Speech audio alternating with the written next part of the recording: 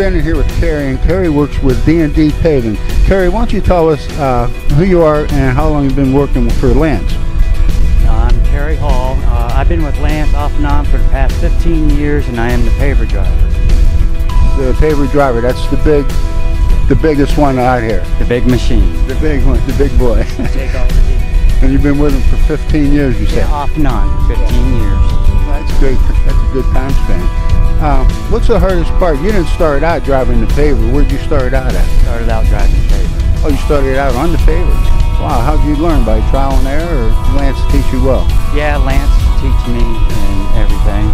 Uh, he's worked with us a lot. Teaches us everything. Is he a good guy to work with? Yeah. if you get along. I know Lance.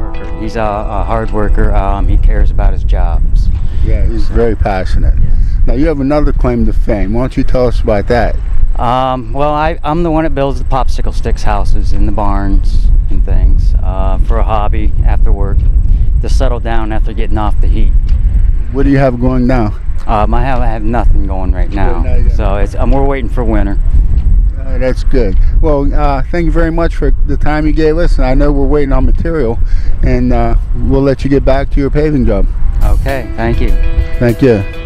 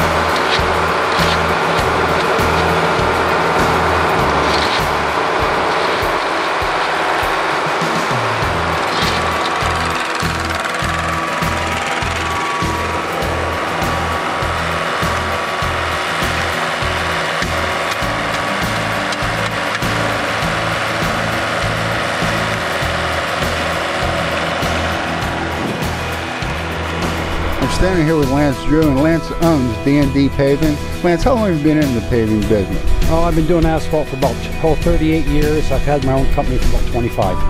Wow, that's a long time. Too many. Too many years. I'm getting too old and too tired for it. I was told you were very passionate about your job. Yes, I am. It's it's it's a very frustrating job. It's uh, you, you put your heart and soul into it. You try to make everything perfect, but you're up against a lot of obstacles. The weather has a lot to do with it. The machinery has a lot to do with it. the timing, the trucks, the whole nine yards. There's just a lot more. There's a lot to it. I can tell you that. Right. You just had, I think, five trucks come through for your paver, and now we're standing here waiting for material. Right, and that's what we're doing now. I just had one truck pulling in. The idea is you try to keep consistent so you don't stop, but it, it doesn't always happen that way. We send the trucks as soon as they get unloaded, they go right back down the plant, and hopefully they can get in line. There isn't too many ahead of them. You try to get it so your trucks are consistent, so you're non-stop. But sometimes it happens, you just you don't get them. Right. Now, uh, a lot of equipment break down, or do you have your own personal mechanic, or are you the mechanic also? Well, I'm I'm one of the mechanics. My truck driver Dennis Holback, he's one of the mechanics, and then the guys they work on the small equipment. But we pretty much have to do our own mechanical work. And when you break down on a job like this, all heck breaks out. I mean, it just with asphalt you can't stop. You have to be consistent all the time. But well, a breakdown can really kill you. Now, how many different phases and how many different employees does it take to run an operation like like you're doing here at Big Parking Lot? Well, I usually run about six when we're doing a big parking lot, and everybody has a designated, you know, assignment to do, mm-hmm. and you try to get in a perfect rhythm. But sometimes we get out of rhythm, and it just it is what it is. Right. So, But the lot looks perfect. well, I don't know about that, but we're doing we're doing the best that we can on it. I mean, so we're, we're, we put our heart and soul into it, but it's it's a tough, it's a tough racket. Now, your next job is striping it. Yes, as soon as we get done paving all this, my intentions are is to get done paving, try to come in here tomorrow and lay it all out, and then restripe the whole thing, and hopefully I give them the parking lot Friday. That's that's my intentions are. Right. Then you're going to do the back side of the lot. They're doing this in phases. We this is this is phase one. We're bringing this all the way out here, or just beyond my truck. You'll see where the cars had stopped parking. Then there's phase two on the back side, and phase three is clear over on the north end of the lot. So they, they're doing it so much each year because the cost of asphalt has tripled in price. And uh, it's getting any more, it's getting too costly. It's just, it, uh, these companies can't afford it. Uh, it's, it's getting very costly. I mean, Because asphalt is an oil base, a tar base. it's an oil base and tar base. It's AC and uh, anything to do with petroleum products, plastics. Boom! It's like your your factories. They have to increase their prices. Everybody increase their prices. So what they got to do is they got to cut back on everything. Try to go longer, further and longer. But what it's doing to is, is killing a lot of small businesses, killing a lot of these factories because of fuel costs. I mean, it's just it's just expensive. Right. Well, hey, uh, hopefully your other trucks will come in. I want to thank you very much for the time that you've given us I thank you. and send somebody else up for us if you would. We'll do that. Okay.